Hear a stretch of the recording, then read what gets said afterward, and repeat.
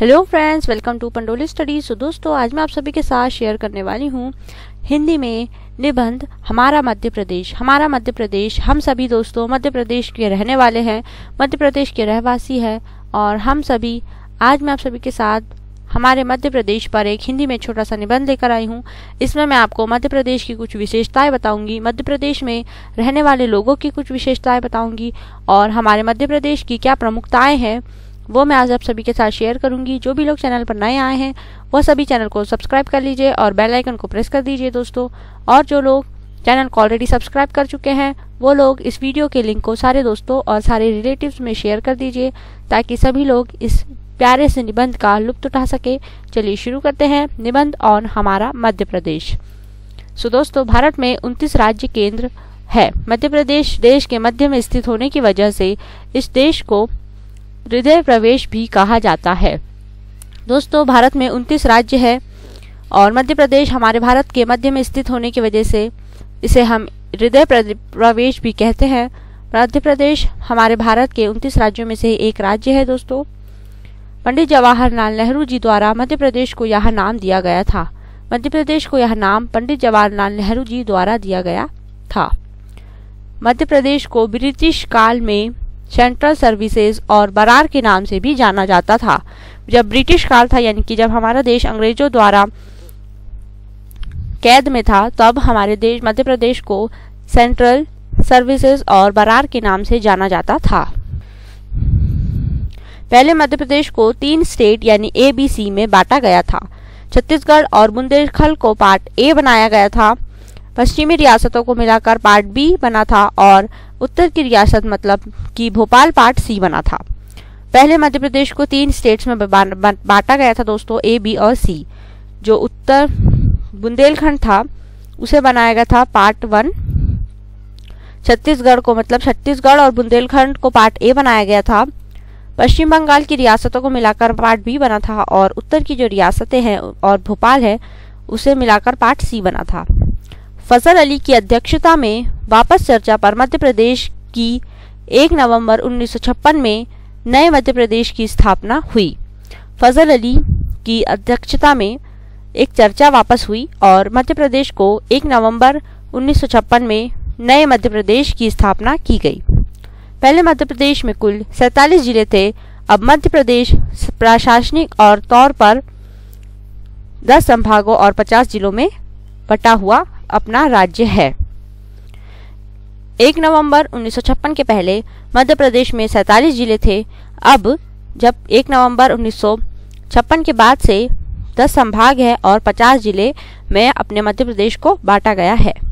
2000 नवंबर में मध्य प्रदेश का एक हिस्सा छत्तीसगढ़ राज्य की स्थापना की गई। 2000 नवंबर में मतलब नवंबर 2000 सन 2000 नवंबर में मध्य प्रदेश के एक हिस्से अलग कर दिया गया, जिसका जिसका राज्य छत्तीसगढ़ राज्य अलग हो गया। मध्य प्रदेश की सीमा पाँच राज्यों को छूती है, उत्तर प्रदेश, छत्तीसगढ़, गुजरात, राजस्थान और महाराष्ट्र।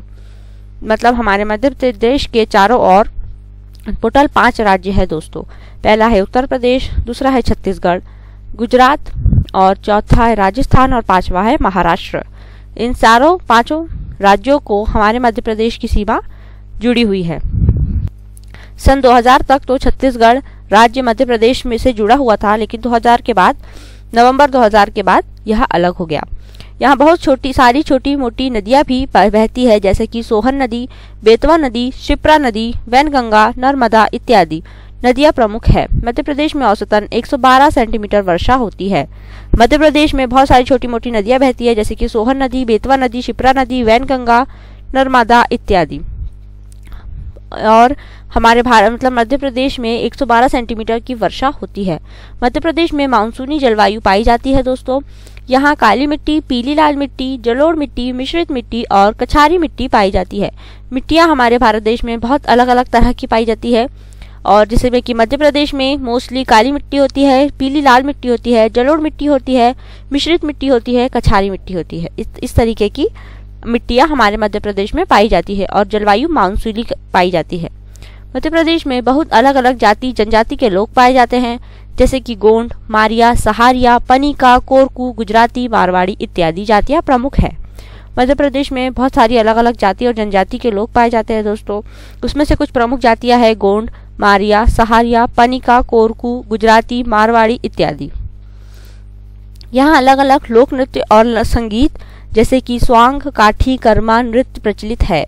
वहीं गणगौर, रे, गीत, दर्द दरिया, ददरिया, आला, आल्हा, नाच इत्यादि लोकगीत भी पाए जाते हैं। बहुत सारे लोक नृत्य नृत्य है हमारे मध्य प्रदेश में जो प्रचलित है दुनिया भर में, जिसमें कि कुछ है स्वांग, काठी, कर्मा, नृत्य। और वहाँ कुछ लोकगीत है जैसे कि गणगौर, रे, दर्द ददरिया, आल्हा, नाच इत्यादि। यह सभी लोक गीत है। मध्य प्रदेश के प्रमुख सांस्कृतिक समारोह में कालिदास तानसेन समारोह, नृत्य में मालवा निमाण सप्रुद, सुप्रद आदि समारोह है। देश द्वारा दिए जाने वाले प्रमुख पुरस्कारों में कालिदास सम्मान, तुलसी सम्मान, शरद जोशी इकबाल, कबीर, लता मंगेशकर वगैरह सम्मान शामिल किए जाते हैं। मतलब अगर हमारे मध्य प्रदेश में कुछ पुरस्कार अगर किसी को देना है तो अगर सिर्फ़ मध्य प्रदेश सरकार उस पुरस्कार को देती है तो उनमें से कुछ पुरस्कारों के नाम क्या है? कालिदास सम्मान, तुलसी सम्मान, शरद जोशी, इकबाल, कबीर, लता मंगेशकर वगैरह सम्मान इत्यादि शामिल है। मध्य प्रदेश में कान्हा किसली राष्ट्रीय आराभ्यन पेंच उद्यान स्थित है। पर्वतों में सतपुरा, पचमढ़ी, बरबस सभी को अपनी ओर आकर्षित करते हैं। मध्य प्रदेश में कान्हा किसली राष्ट्रीय उद्यान है। आरभ्यान पेंच राज्य उद्यान है। कुछ नेशनल मतलब यह है जो है हमारे भारत के नेशनल राष्ट्रीय उद्यानों में से है, जो कि मध्य प्रदेश में स्थित है। पर्वतों में सतपुड़ा के पर्वत, पचमढ़ी जो पर्वत है, बहुत प्रसिद्ध है हमारा पचमढ़ी। बरबस पर्वत, ये सभी को अपनी ओर बहुत ही ज़्यादा आकर्षित करते हैं। यानी कि यहाँ पर टूरिस्ट विज़िट होते हैं। बहुत ज़्यादा लोग बाहर दुनिया से और पूरे देश भर से भी और बाहर दुनिया भर से भी हमारे मध्य प्रदेश इन सभी को देखने आते हैं। ग्वालियर, इंदौर और मारवा मांडव के स्थित किले और महल अपनी एक अलग ही ऐतिहासिक कथा सुनाते हैं। हमारे मध्य प्रदेश में ग्वालियर है, इंदौर है, मारवा मांडव है। इसमें बहुत सारे किले प्रस्तुत है मतलब जो पुराने राजा महाराजाओं द्वारा बनाए गए घर किले हैं, वो बहुत ही ज़्यादा बहुत ही ज़्यादा ऐतिहासिक है और बहुत ही ज़्यादा प्रसिद्ध है और यह सभी अपनी ऐतिहासिक कथाएँ सुनाते हैं। अमरकंटक से लेकर जबलपुर तक नर्मदा के अद्भुत प्रताप अत्यंत मनोहरी लगते हैं। अमरकंटक से लेकर जबलपुर तक नर्मदा नदी के बहुत सारे प्रताप खुलते हैं, जो कि बहुत ही ज़्यादा मनोहरी लगते हैं और इन्हें भी देखने दुनिया भर से लोग आते हैं।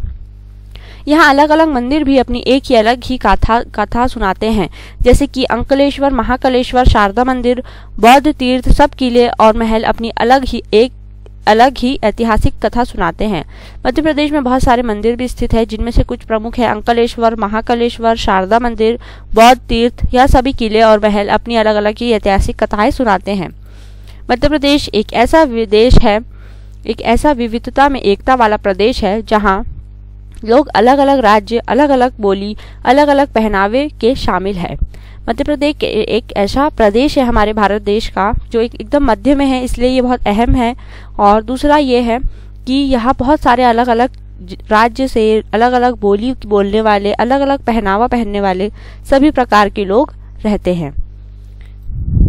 मध्य प्रदेश शुरुआत से ही बहुत ही विकासशील रहा है और निरंतर एक ही एक ही हरे क्षेत्र में आगे बढ़ रहा है। एक नहीं, हर एक क्षेत्र में हमारा मध्य प्रदेश आगे बढ़ता जा रहा है।